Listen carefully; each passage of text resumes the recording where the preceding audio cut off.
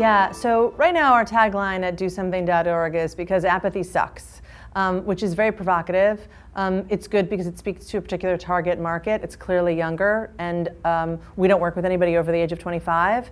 And when you have a tagline like "Because apathy sucks," you're pretty much telling old people, "This is not for you," um, and uh, it gives a reason um, I, I, think taglines can be useful. I think taglines can also be overplayed. A tagline isn't a replacement for a quality service or product. Um, let me give you an example. My, one of my favorite brands that I admire most is Hello Kitty. I'm obsessed with Hello Kitty. Um, Hello Kitty has no tagline.